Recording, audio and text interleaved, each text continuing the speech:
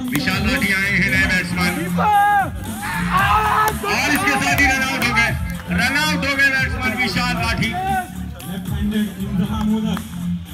लाठी